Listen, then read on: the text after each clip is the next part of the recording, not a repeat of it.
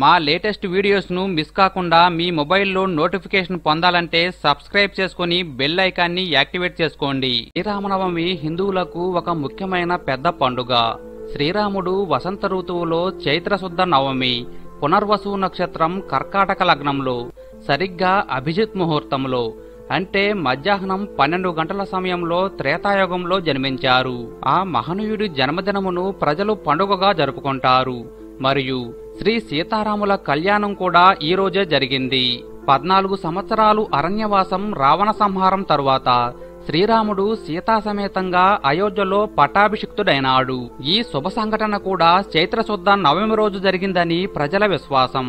ఈ రోజు మన తెలుగు రాష్ట్రాలైన భద్రాచలం రామాలయంలో మరియు ఒంటిమెట్ట శ్రీ కోదండ రామాలయంలో శ్రీ సీతారాముల కళ్యాణ ఉత్సవాన్ని వైభవోపేతంగా జరుపుతారు. అంతేకాదు అన్ని రామాలయాల్లో శ్రీ సీతారాముల కళ్యాణాన్ని పందిర్లు వేసి ఘనంగా నిర్వహిస్తారు. శ్రీరాముడు ధర్మ సంస్థాపనార్థం అవతరించిన శ్రీ మహావిష్ణువు యొక్క ఏడవ అవతారం రావణుణ్ణి అంతమొందించటానికి అవతరించినాడు. దేశంలో ప్రజలంతా సిరి సంపదలతో సుఖశాంతులతో ఉంటే అది రామరాజ్యమని హిందువుల విశ్వాసం. శ్రీరామనవమి రోజు ఉదయాన్నే సూర్య భగవానుడికి ప్రార్థన చేయటంతో ఉత్సవం ప్రారంభమవుతుంది. ఎందుకంటే సూర్యుడు రాముడు జన్మించిన సూర్యవంశానికి ఆరాధ్యుడుగా చెప్తారు. శ్రీరాముడు జన్మించిన సమయం మధ్యాహ్నం కావున. ఈ సమయంలో ప్రత్యేక ప్రార్థనలు నిర్వహిస్తారు. ఇటీవల జరిపిన జ్యోతిష శాస్త్ర పరిశోధనల ఆధారంగా శ్రీరాముడు క్రీస్తుపూర్వం ఐదు వేల నూట పద్నాలుగో సంవత్సరం జనవరి పదిన జన్మించి ఉండవచ్చునని భావిస్తున్నారు. శ్రీరామనవమి రోజు బెల్లం మరియు మిరియాలు కలిపి చేసిన పానకం చాలా మందికి ప్రీతికరమైంది. అదేవిధంగా వడపప్పు ప్రసాదం పెడతారు. ఈ పండుగ సందర్భంగా సాధారణంగా తమ ఎండ్లలో చిన్న సీతారాముల విగ్రహాలకు కళ్యాణోత్సవం నిర్వహిస్తుంటారు. చివరగా విగ్రహాలను వీధుల్లో ఊరేగిస్తారు. శ్రీరామ రామ రామేతి రమే రామే మనోరమే సహస్రనామ తత్తుల్యం రామనామ వరాననే ఈ శ్లోకాన్ని శ్రీరామనవమి రోజు మూడు సార్లు చదివితే ఒక విష్ణు సహస్రనామ ఫలితమే కాదు భక్తులకు శివ సహస్రనామ ఫలితం కూడా కలుగుతుంది. ఏ భక్తులు కాశీలో జీవిస్తూ ఆ పుణ్యక్షేత్రమందు మరణిస్తారు వారి మరణ సమయాన ఆ భక్తవశంకరుడే ఈ తారక మంత్రం వారి కుడి చెవిలో చెప్పి వారికి సద్గతి కలిగిస్తాడనేది భక్తుల ప్రగాఢ విశ్వాసం. మనం శ్రీరామనామాన్ని ఉచ్చరించేటప్పుడు రా అనగానే మన నోరు తెరుచుకొని మన లోపలి పాపాలన్నీ బయటకు వచ్చి ఆ రామనామ అగ్నిజ్వాలలలో పడి దహించుకుపోతాయట. అలానే మా అనే అక్షరం ఉచ్చరించేటప్పుడు మన నోరు మూసుకుంటుంది. కాబట్టి బయట మనకు కనిపించే ఆ పాపాలన్నీ మన లోనికి ప్రవేశించలేవట. అందువల్ల మానవులకు రామనామ స్మరణ మికిలి జ్ఞానాన్ని జన్మరాహిత్యాన్ని కలిగిస్తుందట. ఈ రోజు వీధుల్లో పెద్ద పెద్ద పందిర్లు వేసి సీతారాముల కళ్యాణం చేస్తారు. అదేవిధంగా ప్రతి ఇంట్లో కూడా యథావిధిగా రాముని పూజించి వడపప్పు పానకం నైవేద్యం చేసి అందరికీ పంచుతారు. ఇలాంటి పవిత్రమైన రోజు రాముడి జన్మ రహస్యం గురించి తెలుసుకుంటే జన్మల పాపాలు పోయి కోటి జన్మల పుణ్యం వస్తుంది. ఇది విన్నంతనే కోటి రెట్ల పుణ్యఫలం కలుగుతుంది.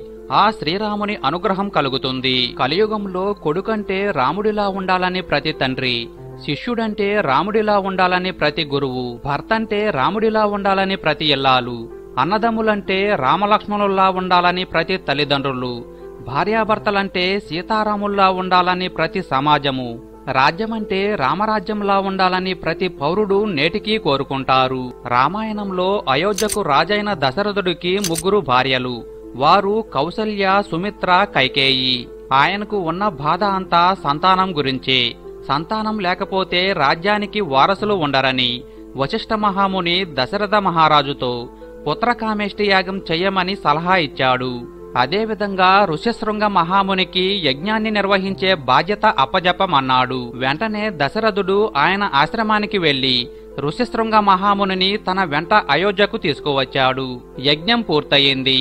ఆ యజ్ఞానికి తృప్తి చెందిన అగ్నిదేవుడు పాయసంతో నిండిన ఒక పాత్రను దశరథుడికి ఇచ్చి భార్యలకు ఇవ్వమన్నాడు దశరథుడు అందులో సగభాగం మొదటి భార్య అయిన కౌశల్యకు రెండో సగభాగం చిన్న భార్య అయిన కైకేయికి ఇచ్చాడు. వారిద్దరూ వారి వాటాల్లో సగం మిగిల్చి రెండో భార్య అయిన సుమిత్రకు ఇచ్చారు. కొద్ది కాలానికే వారు ముగ్గురు గర్భం దాల్చారు. చైత్రమాసం తొమ్మిదో రోజైన నవమి రోజు మధ్యాహ్నం కౌశల్య రాముడికి జన్మనిచ్చింది. అలాగే కైకేయి భరతుడికి. సుమిత్ర లక్ష్మణ శత్రుఘ్నులకు జన్మనిచ్చారు. ఈ విధంగా భరతుడికి రామ లక్ష్మణ భరత శత్రుఘ్నులు అనే పేరు గల నలుగురు కుమారులు జన్మించారు. శ్రీరాముడు ధర్మ సంస్థాపనార్థం అవతరించిన శ్రీ మహావిష్ణువు యొక్క ఏడవ అవతారం. శ్రీరాముడు రావణుణ్ణి అంతమొందించటానికి అవతరించాడు. రావణుడు అనే రాక్షసుడు బ్రహ్మ వద్ద వరాలు పొంది దేవతలను జయించి మునులను వేధిస్తుంటాడు. రావణునికి దేవ గంధర్వ యక్ష రాక్షసుల వల్ల చావులేదు. దేవతల ప్రార్థన మన్నించిన శ్రీ మహావిష్ణువు వానిని హతం చేయటానికి నరుడై జన్మించాడు. శ్రీ మహావిష్ణువు రామునిగా ఆదిశేషుడు లక్ష్మణునిగా శంఖచక్రములు భరత శత్రుఘ్నులుగా అవతరించారు. శ్రీ మహాలక్ష్మీదేవి సీతగా అయోనిజ అయిన జనక మహారాజు ఎంట పెరుగుతుంటుంది. సీతా స్వయంవరంలో రాముడు శివుని విల్లు విరిచి సీతకు వరుడైనాడు. ఒకనాడు రావణుడు కపట నాటకం పన్ని సీతాదేవిని లంకకు తీసుకువెళ్తాడు. తరువాత వానర సైన్యంతో కలిసి లంకకు సముద్రంపై వారధి కట్టి రావణుడిపై భీకర యుద్ధం చేశాడు. రాముడు సంధించిన బ్రహ్మాస్త్రం నిప్పులు చిమ్ముతూ రావణాసురుడి గుండెలను చీల్చి సంహరించింది దాంతో దేవతలందరూ సంతోషించారు. తరువాత సీతాదేవి అగ్నిలో ప్రవేశించి తన ధర్మనిరతిని లోకానికి నిరూపించింది. ఈ విధంగా సీతారామ లక్ష్మణులు సపరివారంగా అయోధ్యకు తిరిగి వచ్చారు. వైభవంగా సీతారాముల పట్టాభిషేకం జరిగింది. శ్రీరామనవమి రోజు ఈ పురాణ వృత్తాంతం విన్నా చదివినా చెప్పినా జన్మల పాపాలు పోయి కోటి జన్మల పుణ్యం వస్తుంది. ఈ వీడియో మీకు నచ్చితే లైక్ మరియు షేర్ చేయండి. ఇలాంటి మరికొన్ని వీడియోల కోసం నా యూట్యూబ్ ఛానల్ సబ్స్క్రైబ్ చేయండి. Thanks for watching.